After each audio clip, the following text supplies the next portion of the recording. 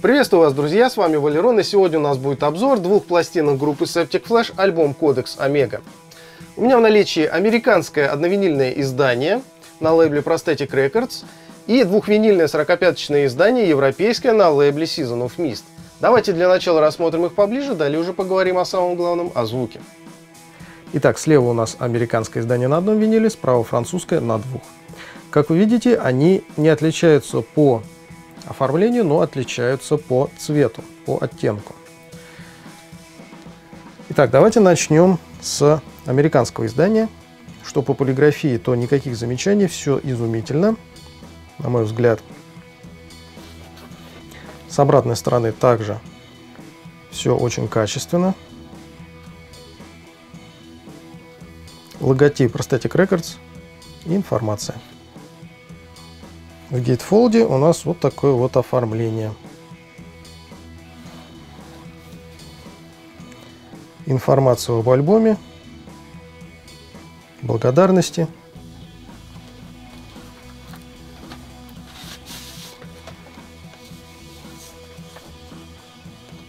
И вот такие вот вкладочки –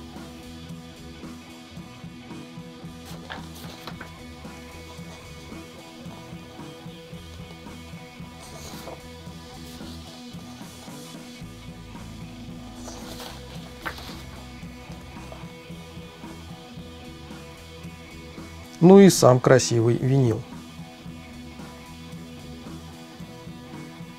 На вид довольно качественный.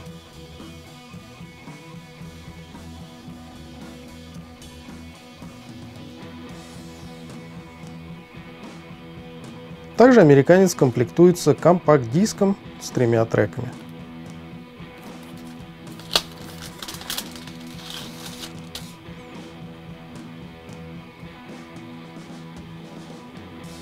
Далее давайте перейдем к французскому изданию. Здесь у нас матовая бумага. Обратите внимание, оттенок другой, более темный, более красно-синий, скажем так. Но тем не менее качество, как мне кажется, тоже ничуть не хуже. С обратной стороны точно такое же оформление. Единственное, что здесь у нас логотип уже Seasons of Mist и трек-лист. Gatefold точно такой же. Никаких отличий абсолютно. Пластинки находятся во внутренних конвертах с теми же самыми изображениями, которые были во внутренних вкладках двухсторонних у американского издания.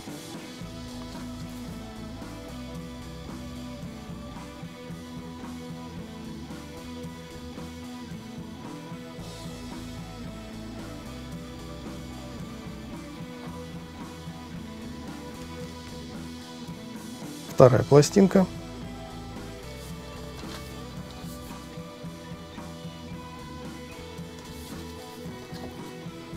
Кстати сказать, винил отпечатан в Чехии. Ну и, честно говоря, довольно-таки средний по качеству визуально.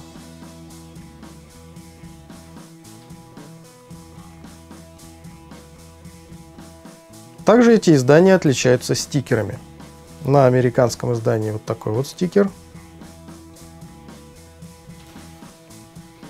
На французском вот такой. Кодекс Омега это десятый альбом э, группы Septic Flash, участие в котором принимал э, Пражский филармонический оркестр, с которым группа записывала предыдущие три альбома. Ну а над обложкой, как всегда, трудился вокалист группы Septic Flash Спирос Антонио. Что ж, друзья, давайте теперь перейдем к самому главному, к звуку. И начнем, пожалуй, с двухвинильного европейца. Что можно сказать по звуку здесь? Общая картина радует широкой сценой и мощным напористым басом, при этом в высокочастотном диапазоне никаких потерь, все достаточно хорошо сбалансировано. Середина также на месте не потерялась. Что по динамическому диапазону, то компрессия имеет место быть, но с учетом жанра музыки, в общем-то, она не бросается в глаза, никакого дискомфорта не испытываешь. Все вполне прилично. Ну и тут мы переходим к самому интересному, к дефектам. Что насчет циклических шуршалок и щелчков, то здесь их нету, никаких подобных дефектов я не заметил. Но здесь слышно саму массу. Причем э, шум массы достаточно однородный, негромкий. И связан он на 99%, я уверен, с цветным происхождением моего экземпляра. Мне кажется, что на черном экземпляре этого дефекта не будет. Просто послушайте э, вступительную дорожку первого винила.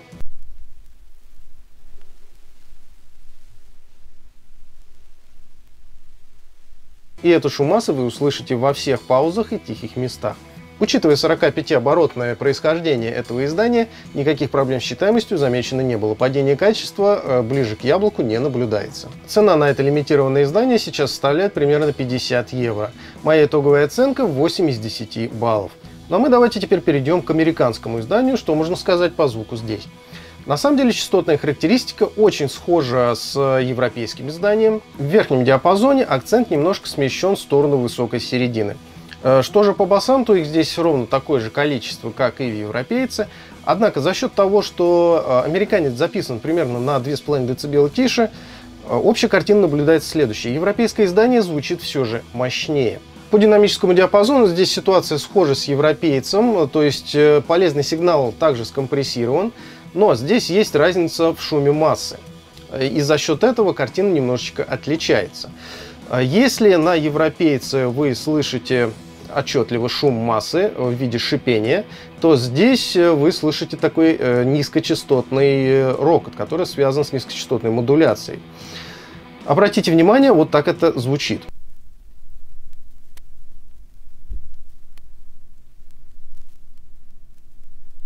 Напоминаю, на европейце шум массы следующий.